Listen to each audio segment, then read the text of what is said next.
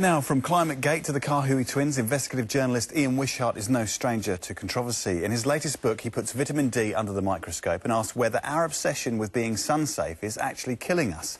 Ian joins us now, along with the Cancer Society's Dr Jan Pearson, who's joining us from Wellington.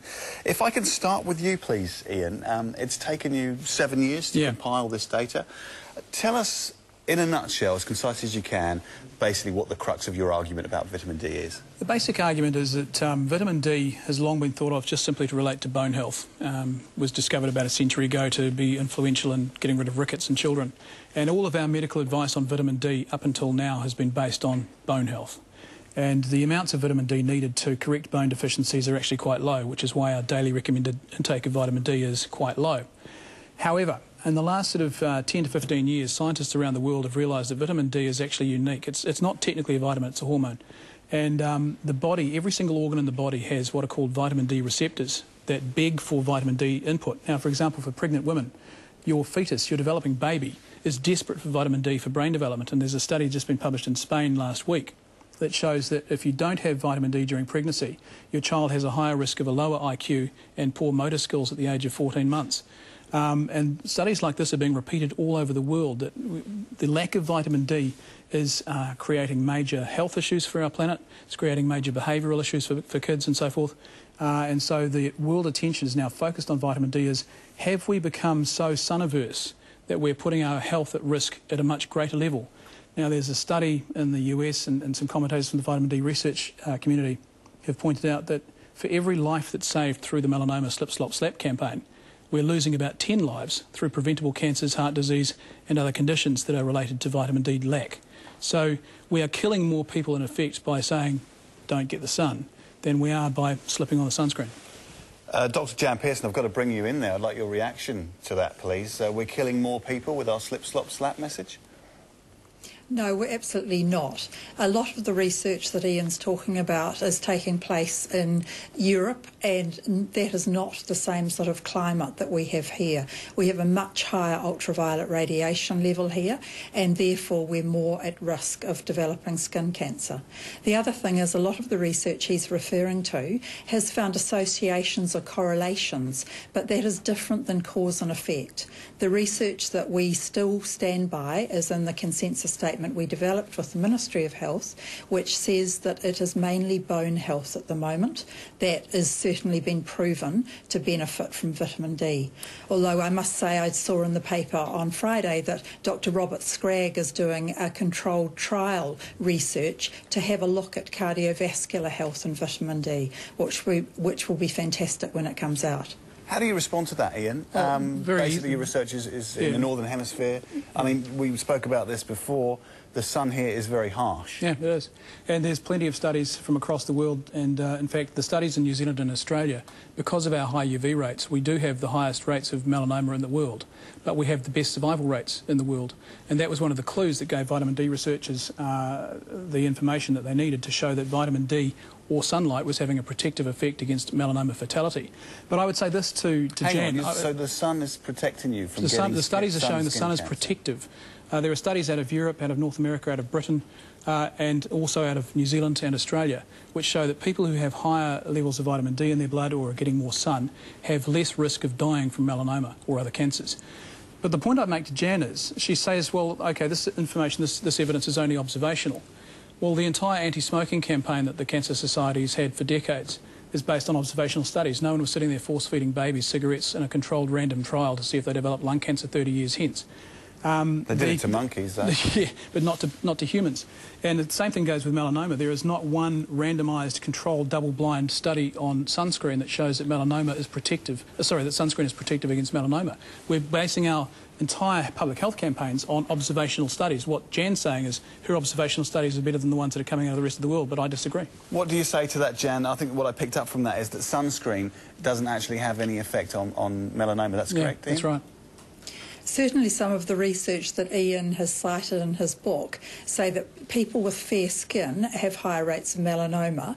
Um, uh, sorry, people that use sunscreen have higher rates of melanoma. Those people also have fair skin, and we know that that is a risk of higher rates of melanoma. Yes, but the point is the sunscreen is not protecting those people with fair skin from melanoma, and that's the key. But it stops us from getting sunburn. Isn't that the Yeah. same thing, Jan? What's the, what's the Well, our messages are that sunscreen is one of the th- things that you would use to protect your skin. That in New Zealand, people do need to protect their skin between the hours of 10 and 4 in summer months, and especially if you have fair skin.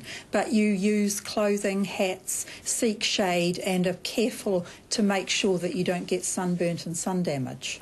And we know that it's the sun damage for your, on your skin that causes melanoma and all the other skin cancers that are not registered, and therefore we don't really know how big that problem is. If we're being honest about this, we have spent 30 years with a slip, slop, slap message, and most people would be using sunscreen to protect them against melanoma. Last week, the Melanoma Foundation came out and said people are not using enough sunscreen to protect them from melanoma. There is not one study in the world, not one credible study that shows sunscreen protects you from melanoma. What is the message the Cancer Society, the Melanoma Foundation, the Ministry of Health are trying to put out to the public of New Zealand? It's a crock. Where did you get your research from, Jan? I, I trust the, the researchers that we work with and the international Name one study, evidence. Jan. Name one study. Name one credible I'm sorry, study. I, I don't have I don't have those studies at my book. fingertips. I certainly yes. Well, your book has different evidence than the Ministry of Health the- and the for- Cancer for, a start, Society Jan, that the. Harvard, Harvard University, for example, here's another thing that the Ministry of Health and the Cancer Society have done. They've redefined the level of vitamin D deficiency to make it seem like New Zealanders aren't deficient. For example, Jan has said on radio last week that uh, only 5% of New Zealanders are vitamin D deficient based on most recent studies that she's quoting from.